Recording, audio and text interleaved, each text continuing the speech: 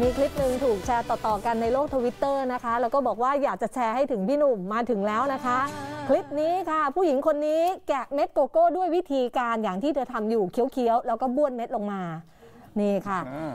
ก็มีคนเข้ามาคอมเมนต์นะคะ บอกว่านี่น่ากลัวยิ่งกว่าโควิดอีก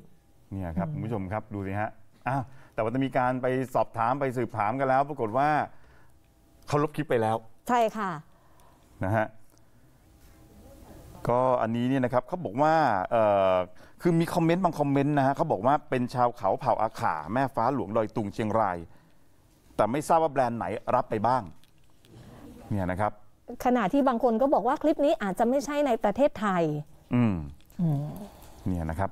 ค่ะนี่มันเป็นโกโก้ใช่ไหมเขาเสร็จเขาต้องเอามาตากอีกใช่ถูกไหมฮะต้องเอามาตากต้องมาผ่านกรรมวิธีอีกใช่ไหมฮะค่ะแหมแต่มันอย่างนี้ก็ก็สะพรึงอยู่เหมือนกันนะ เขาตอนแรกเขากัดฝักก่อนกัดแล้วก็บ้วนออกมาแล้วก็นี่เคี้ยวนี่เคี้ยวค่ะเสร็จแล้วก็เทอย่างเงี้ยอืมแล้วก็เอาไปตากเนี่ยนะฮะอืมเอาละฮะนั่นก็คือเรื่องราวทั้งหมดในเที่ยงวันทันเหตุการณ์นะครับคุณผู้ชมครับ